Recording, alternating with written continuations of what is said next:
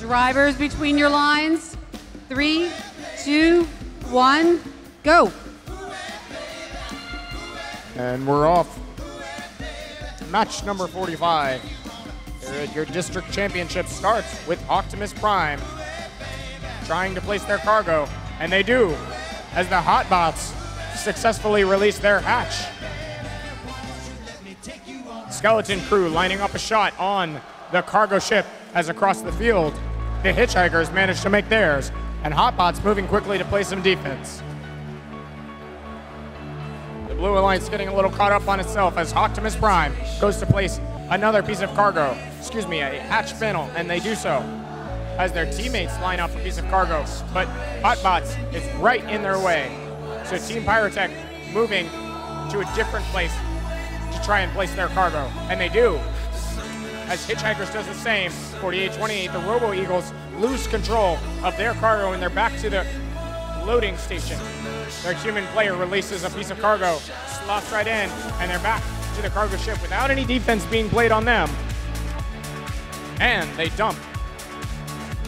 So they get another piece of cargo added to their score. That's three points for them. Their teammate, Skeleton Crew, places another one. And Blue is still ahead by nine points on the score right now. Hotbots trying their best to keep that lead to a minimum by playing some good defense, but Team Pyrotech is struggling right now, and they're moving to the end. They're setting themselves up to do a third level climb, and they're already going up as their teammates take care of scoring. The Hitchhikers place a piece of cargo and go back to place another piece of cargo. They do so to the second level of the rocket loaded up for them.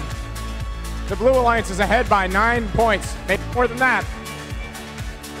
Team Pyrotech going up to the third level, but they're having a lot of trouble advancing forwards, and they don't have a lot of time left to do it.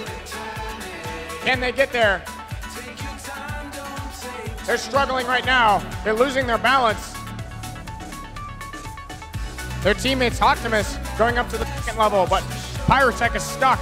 And across the field, the Robo Eagles are not having the same issues. The Red Alliance may be able to sneak this by with a better.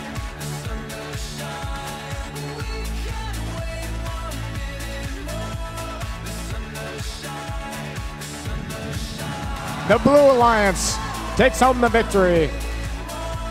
And they do so with quite a large number of penalty points. They also managed to get